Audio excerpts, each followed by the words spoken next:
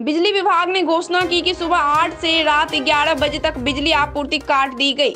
Mukundpur power transmission and upgrading का काम Ashika Nuapada power station पर किया जाएगा। आने वाले दिनों में 8 एमवी पर बिजली मिलेगा। सभी स्थानीय लोगों से बिजली कटौती के दौरान सहयोग करने का आग्रह किया जाता है। गंजम ज़िले से संवाददाता अखिल कुमार पटनायक की रिपोर्ट।